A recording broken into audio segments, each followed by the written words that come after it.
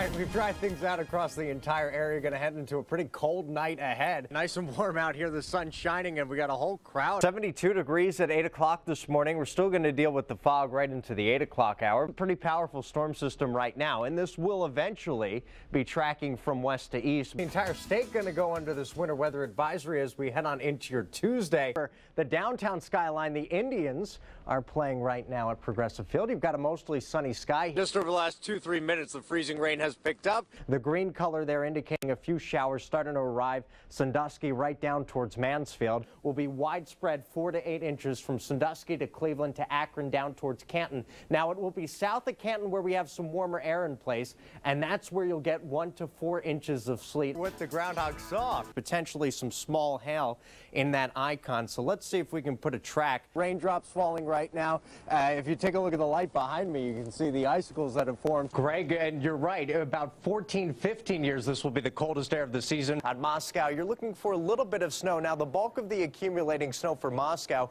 will be later this evening into tomorrow afternoon, where 6 to 12 centimeters will accumulate. And that's going to bring more significant snow accumulations than yesterday's snowstorm. Still hours away, and we'll be covering it all day long. From Wrightsville Beach, North Carolina, I'm Jason Handman for AccuWeather. Keep in mind, that around this time of year, the average low temperature is about 19 degrees, and that's where we'll head down to. And we're still hanging on to the cloud cover here, but there's a lot of dry air in future view. The darker red color right there in Mansfield along 71 heading up towards Ashland, indicating some heavier downpours. You can see all the lightning strikes associated with this storm system. Now, the red color here, that's where it's just pouring out there. So, well, uh, flooding definitely a concern as we move throughout the rest of this week. See, there is some drier air that will work its way in. So tomorrow, your Saturday, partly cloudy.